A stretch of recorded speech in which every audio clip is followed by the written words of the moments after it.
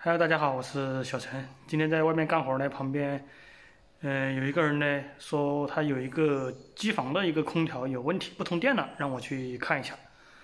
然后呢，他自己有万用表啊，我都什么都没带，我们过去看一下看吧。好，我们现在到了啊，就是这个空调。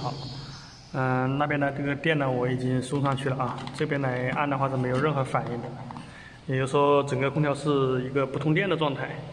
那么我们把下面的盖子拆开看一下。这是这个用户自己买的一块万用表，花了六十块钱啊，还是优利德的。然后他打算自己来修这个空调，嗯，结果万用表买回来呢，感觉不怎么好修啊，没修好。所以说我过来就用他这块表来给他把这个空调给他修起来。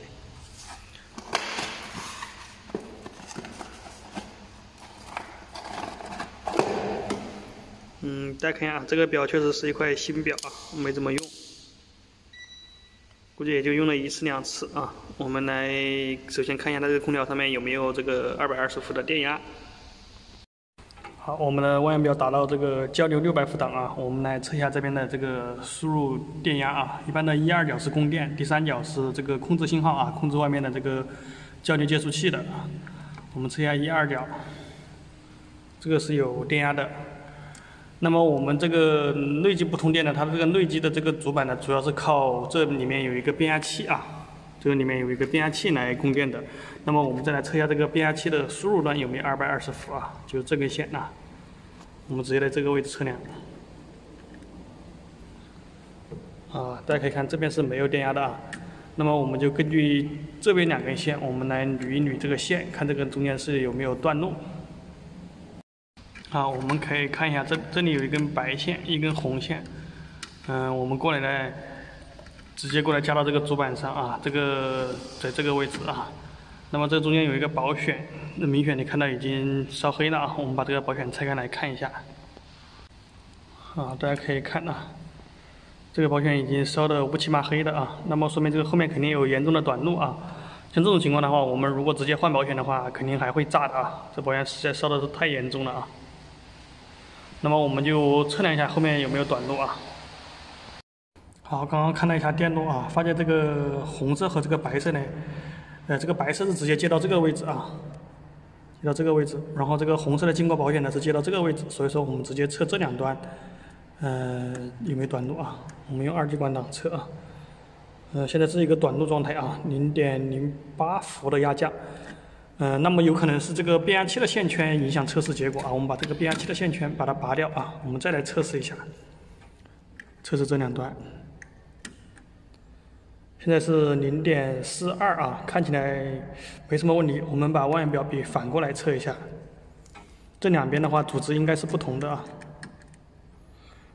然后我们再测试呢，还是零点四二，那说明这个电路确实是有问题啊。正常的话，这个正反向应该是不同的数值。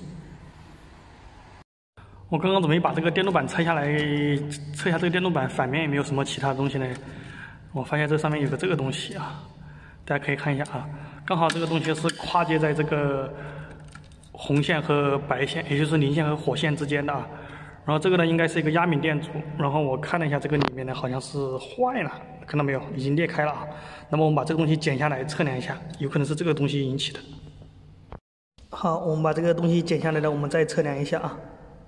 果然是这个东西啊！我们正反测的话，它刚好是这个零点四伏的这个压降。那么我们再去测一下这个主板上面还有没有这个数字。好，我们再测这个位置啊。我们发现这个万用表上面就显示的是一个开路状态啊，那么就证明正常了啊。现在就可以装上保险来，哎，测试一下。这边呢，我已经把刚才接这个压敏电阻的两个线把它包好了，把它处理好了，然后把这个保险丝已经装回去了啊，换了一个新的保险丝，把这个变压器的初级绕组插上去了，然后我们去开电来测试一下。好，我们现在送上电之后呢，这个空调已经在工作了啊，已经正常工作了。那么也就是说是这个压敏电阻损坏之后啊，导致烧这个保险，然后导致整个主板没电，所以说，呃，整台空调呢就不能工作。到时候再找一个压敏电阻给它装上啊！现在暂时可以就这样用。好，本期视频就跟大家分享到这里，谢谢大家观看。